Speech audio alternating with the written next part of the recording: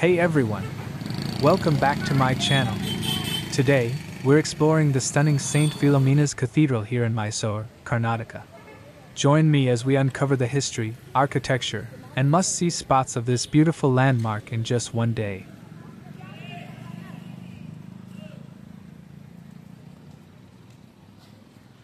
To start our day, we made our way to St. Philomena's Cathedral, which is located about 2 kilometers from the Mysore Palace.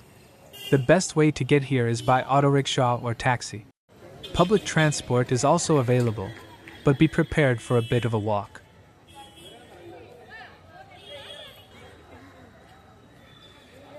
St. Philomena's Church in Mysore is one of the largest churches in India, known for its stunning neo Gothic architecture.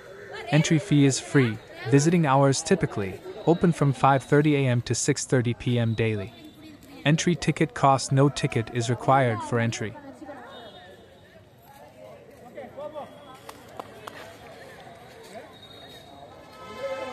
Wow, just look at this. St. Philomena's Cathedral is one of the largest churches in India and a perfect example of Gothic architecture. Completed in 1936, it's dedicated to St. Philomena, a young martyr from the early Christian era.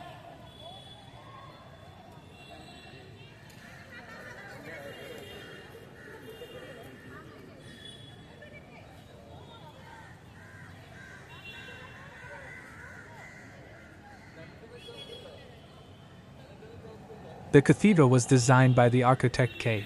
S. Seshadri Iyer, and it's built in the shape of a cross. The twin spires reach a height of 175 feet, making it a stunning sight against the Mysore skyline.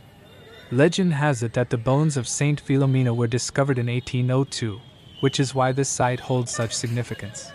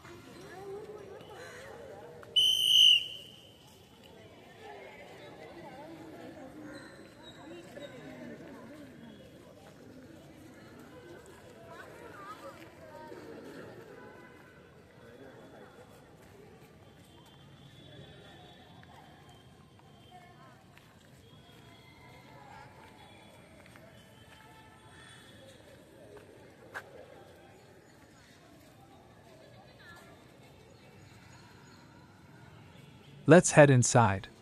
The interior is equally breathtaking, adorned with beautiful stained glass windows depicting scenes from the life of Christ. The tranquility inside offers a perfect spot for reflection or prayer. That wraps up our one day visit to St. Philomena's Cathedral in Mysore. I hope you enjoyed this tour and found the tips helpful. If you liked the video, don't forget to hit the like button, subscribe, and share your thoughts in the comments below. Until next time, happy travels.